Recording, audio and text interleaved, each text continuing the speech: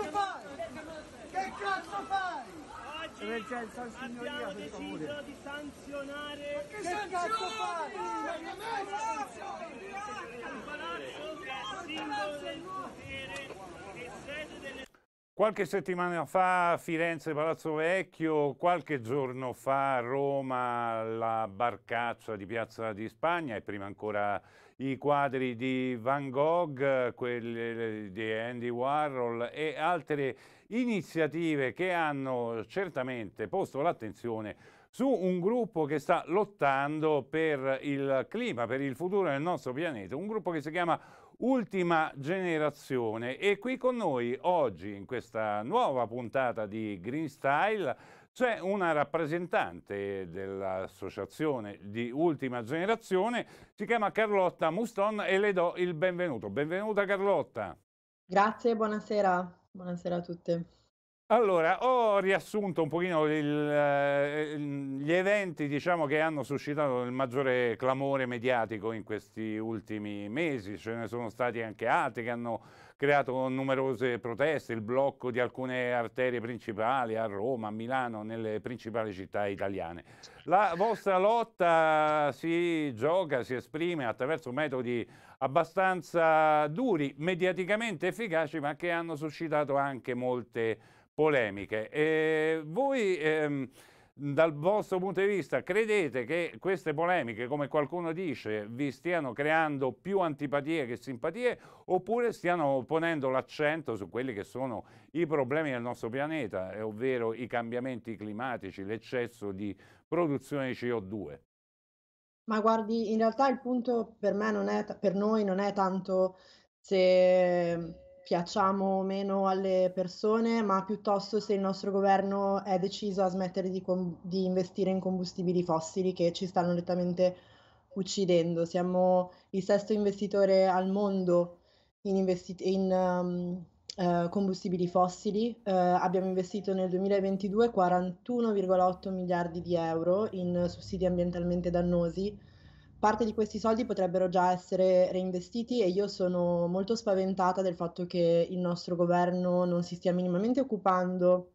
Per esempio c'è una siccità in corso, eh, molte colture hanno gemmato e eh, sono fiorite prima del tempo, stanno lottando contro eh, condizioni atmosferiche inusuali, questo avrà un impatto diretto sulla eh, nostra produzione agricola, abbiamo perso circa eh, 6 miliardi di euro l'anno scorso, um, quindi il punto è perché non ci stiamo occupando della eh, crisi più grande che l'umanità abbia mai incontrato. Eh, è di oggi la notizia che la Lombardia ha deciso di ehm, non irrigare i campi per mh, mantenere l'acqua perché c'è il rischio che non ci sia quest'estate.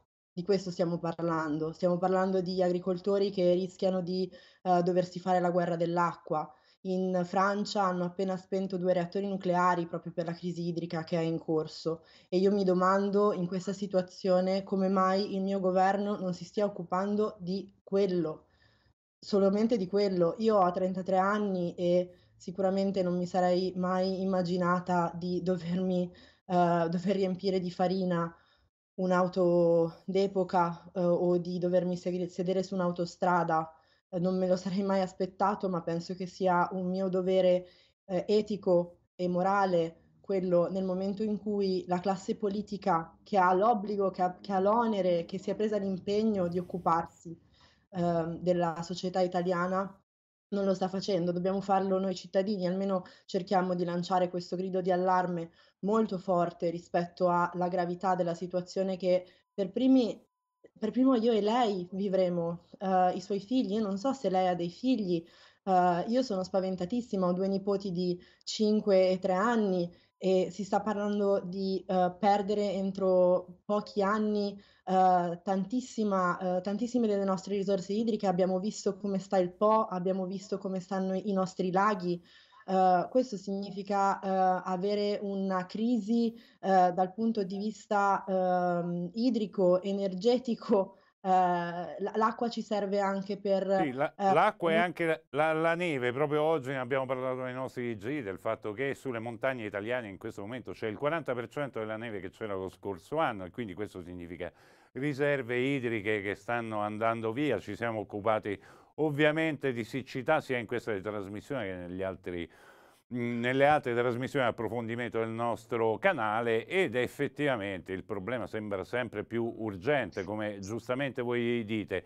C'è però questo aspetto delle forme che eh, ha preso la vostra protesta che se da una parte vi permette eh, di essere comunque al centro dell'attenzione mediatica e quindi di riuscire a, a, porre i temi del clima, dei cambiamenti climatici, del futuro del pianeta al centro dell'attenzione, dall'altra eh, lo abbiamo visto nelle immagini per esempio che sono passate prima, quelle del blocco statale che c'è stato sul grande raccordo anulare di Roma e eh, l'audio era silenziato ma eh, se si facessero sentire le parole degli automobilisti, beh, insomma, alcune erano piuttosto violente anche nei vostri confronti. Eh, posso dire, per quanto mi riguarda, che sono stato anche uno dei primi a eh, raccontare il fatto che, per esempio, l'assalto che ci fu al quadro di Van Gogh, uno dei primi eh, fatti eh, in quel senso era eh, fatto su un quadro che era eh, comunque protetto da un vetro, cosa di cui inizialmente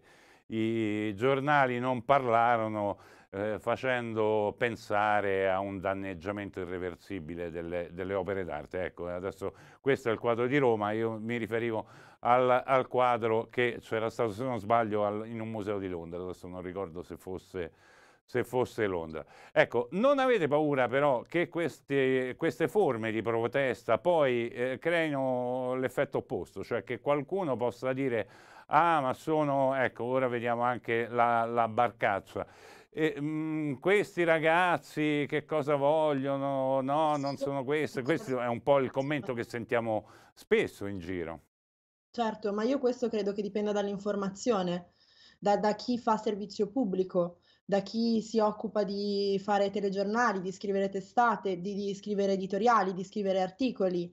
Mm, non dipende da noi, non dipende da noi su cosa ci con- si concentrerà il dibattito. Noi continuiamo a spingere perché si parli del fatto che, per esempio, tantissime decine di miliardi vengono presi dalle nostre tasche di cittadini e dati alle multinazionali del fossile che hanno conciato l'Italia in uno stato veramente devastante e siamo senza acqua in questo momento. Ci prendono 80 milioni all'anno per darli alla ricerca di gas e carbone quando dovremmo abbandonarli e si potrebbero benissimo dare a tutti quei bravi ricercatori che stanno cercando soluzioni per il risparmio dell'acqua e per salvare l'agricoltura. Il, noi possiamo usare il nostro corpo, rinunciare alla nostra libertà, essere disposti a prendere delle denunce, mh, mhmm, essere disposti anche a empatizzare tantissimo con le persone che blocchiamo, ma poi serve anche che l'informazione faccia il proprio lavoro e il proprio lavoro è quello proprio di parlare non dei metodi, ma caspita, ma parliamo del fatto che c'è un conflitto sociale in corso che ci, e sarà sempre peggio. Perché non riusciamo a parlare di questo? Ecco, ah, noi nel nostro piccolo, come vede, stiamo cercando di farlo. No, no, e, e, ovviamente, ovviamente è quello che stiamo cercando di fare qui, però parliamo del fatto che eh, diamo più di un miliardo all'anno di infringe benefit, letteralmente aumenti di stipendio per chi usa la macchina aziendale come privata in modo da usare più benzina, anziché usare questi soldi per potenziare il trasporto pubblico al sud. Cioè, cioè viviamo in uno stato di assurdità e le cose saranno sempre peggio, quindi sì, i nostri gesti sono assolutamente dirompenti, ma non sarebbero così dirompenti se la situazione non fosse così grave. E quindi serve ovviamente anche che noi l'informazione eh, la possiamo fare quando veniamo invitati da qualche parte, ovviamente continuare a parlare non dei metodi ma piuttosto di quello che sta veramente accadendo, perché qua nessuno è vittima di un uh, delirio di, di, di onnipotenza, cioè siamo singoli e cittadine, io sono una persona, sono una ragazza comune, ho 33 anni, non, non, non, non vorrei fare quello che faccio ma non, sono, non ho nemmeno il potere, non sono io il governo, io vorrei parlare con la con il presidente ecco, Meloni. A proposito, a proposito di, di, governo, eh, diceva parlare con la presidente Meloni, diciamo che c'è stata un'interlocuzione con la politica un po' conflittuale da parte vostra, anche quando c'è stato l'assalto al, al, Senato. Prima abbiamo visto Nardella, il sindaco di Firenze, che insomma non l'ha presa proprio benissimo la vostra operazione a Palazzo Vecchio. C'è però da dire che il ritardo della politica non è colpa degli attuali governanti, ma di decenni, se non eh, un paio di secoli, cioè dallo scoppio della rivoluzione industriale alla fine del Settecento in eh, Inghilterra, un ritardo fortissimo eh, rispetto a quelle che sono le problematiche dell'inquinamento, del riscaldamento provocato eh, dal, dall'uomo. Ecco, voi mh, che cosa chiedete nello specifico? Mh, facciamo finta che adesso Giorgia Meloni sia qui all'ascolto, magari eh, veramente ci sta seguendo. Che cosa chiedete al governo italiano? Di fermare immediatamente tutti i sussidi ai combustibili fossili, Fermarli immediatamente significa avere un piano per fermarli, perché ovviamente c'è una complessità molto alta nei sussidi ambientalmente dannosi, che ricordo ammontano al 41,8 miliardi di euro per quanto riguarda il 2022. Ma ci sono già dei soldi che possono essere riallocati. Le ho fatto prima l'esempio degli 80 milioni all'anno che vengono dati alla ricerca per gas e carbone. Quei soldi possono essere reinvestiti in altro, in altro che ci permetta di prepararci veramente a quello che sta accadendo già adesso, non è più nemmeno una questione di futuro.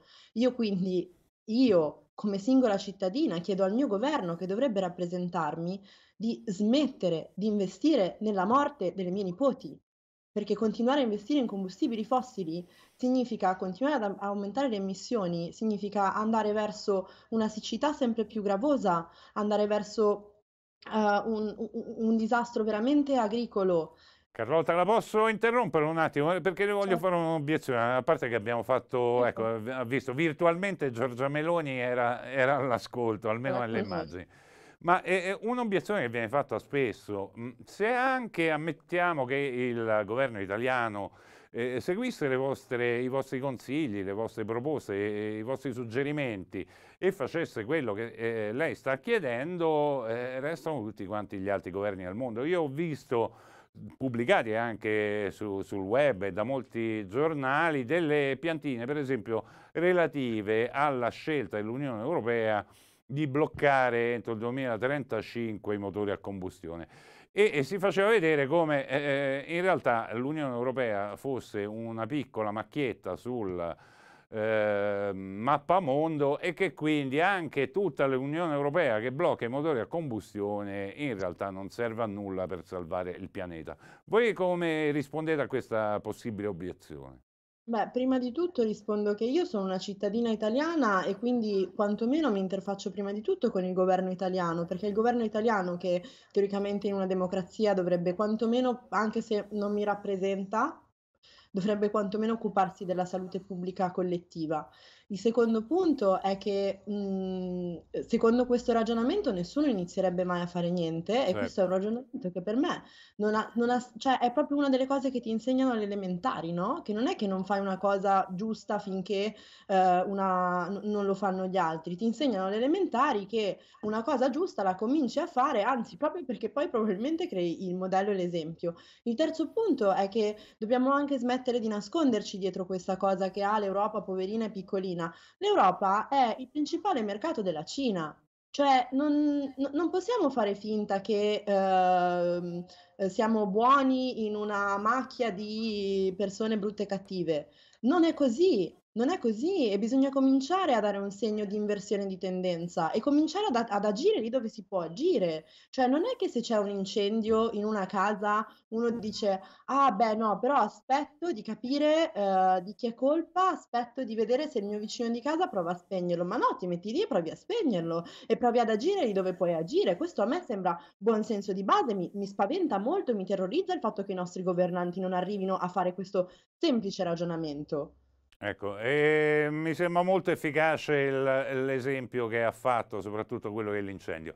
Mh, senta, un'altra domanda, perché è vero che il, il, governo italiano e gli altri governi europei e mondiali sono in ritardo su questi temi, ma è anche vero che il governo italiano in realtà di voi si è occupato, cioè si è occupato per esempio per assegnare una sorveglianza speciale ad alcuni vostri attivisti che si erano macchiati di quelle azioni che abbiamo visto prima in alcune delle immagini e, e, adesso si sta occupando anche di una possibile, soprattutto la parte leghista, di alcuni possibili decreti che andrebbero a colpire in maniera più eh, forte le azioni che voi fate.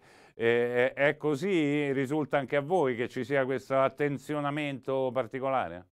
Beh sì, è in corso. Beh, appunto per vedere le priorità del nostro governo c'è una siccità in corso il Po penso non sia così basso da più di 200 anni, c'è una crisi agricola eh, che stiamo per affrontare e il nostro governo, anziché discutere delle misure da prendere per contrastare questa cosa e cominciare a ridurre le nostre emissioni, cosa fa? Perde tempo pensando di punire noi aumentando le pene del, reati di, di, danneggiamento. Ma il punto è che qua nessuno di noi si sta divertendo a fare quello che sta facendo e non è che con queste misure repressive e intimidatorie noi smetteremo di farlo, perché qua non è una questione di uh, la mia causa o la mia fissa, qua è una